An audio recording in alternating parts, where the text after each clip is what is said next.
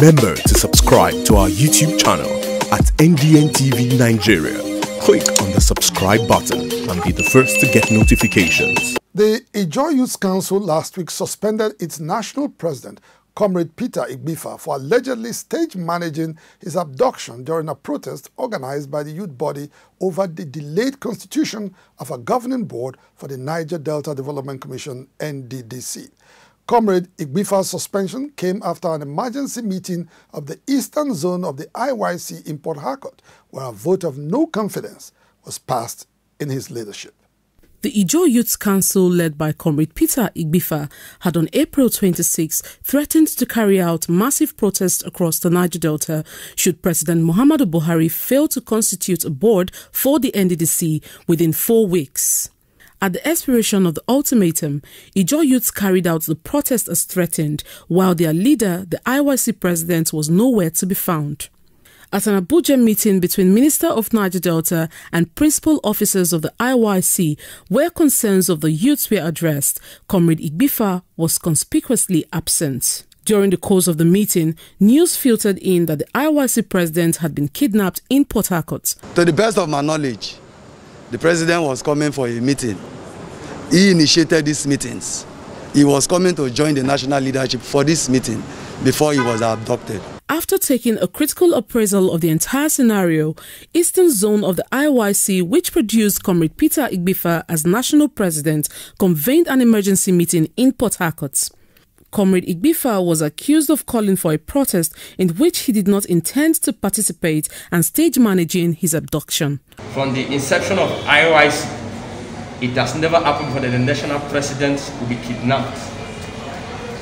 Ijaw Youth Council work in line with security agents, agencies. We release kidnappers. We go on the street, we go on the forest, we fight criminalities, criminals, we fight cultism, we fight separates. So there is no way any mortal created by man can kidnap an Ijaw Moreover, the president of the council, it has never happened before. So based on that, the job people has come on board to say the IYC president is set aside. The job who came up with the resolution that Honorable Deacon, Deacon Peter Timothy Igbifa should be suspended Upon passing a vote of no confidence in Comrade Igbifa, Eastern Zone of the IYC appointed Israel Fubara, officer in charge of mobilization and strategic planning, to act as national president of the IYC. A vote of no confidence was passed on Peter Timothy Igbifa.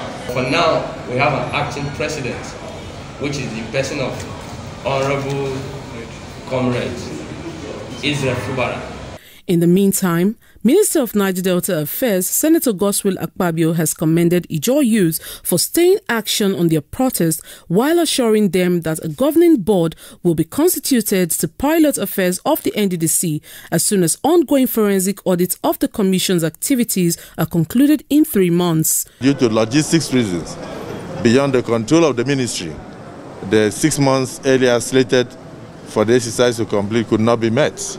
And as a result, the forensic auditors have requested for additional three months to enable them to submit their final report. All things being equal, in three months from today, Mr. President will be availed the final forensic uh, audit report, whereupon he will now empanel or inaugurate the board so that we can reposition the NDDC. Efforts to reach suspended president of the IYC were unsuccessful as he failed to respond to several phone calls and text messages sent to his phone.